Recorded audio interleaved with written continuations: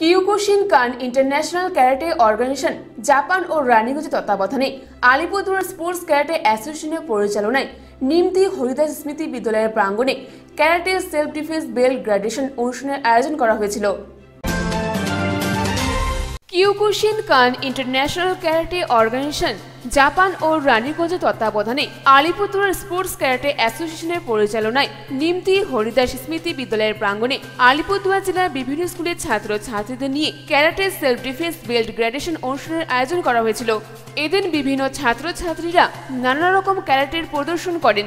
উত্তরবঙ্গের বিভিন্ন এলাকা থেকে পরীক্ষক এসেছিলেন। তাদের এই সেলফ ডিফেন্সের বেল্ট গ্র্যাডুয়েশনের বিচার করার জন্য।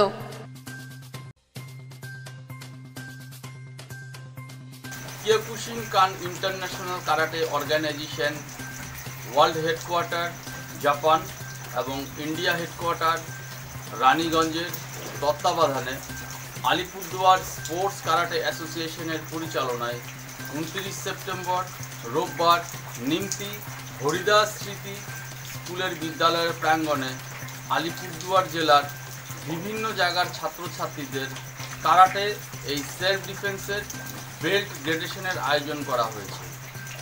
সারা উত্তরবঙ্গ থেকে বিভিন্ন ইনস্ট্রাক্টররা এসেছেন বা এক্সামিনাররা এসেছেন।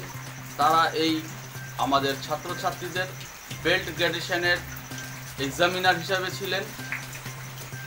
বিভিন্ন ছাত্রছাত্রীরা নানান রকম ডেমনস্ট্রেশন করেছেন, তারা সেলফ ডিফেন্স করেছেন এবং তার মাধ্যমেই কে কে এই আমাদের বেল্ট গ্রেডেশন পরীক্ষায় উত্তীর্ণ হবেন সেটাই আমাদের জাজেসরা ঠিক করেছে।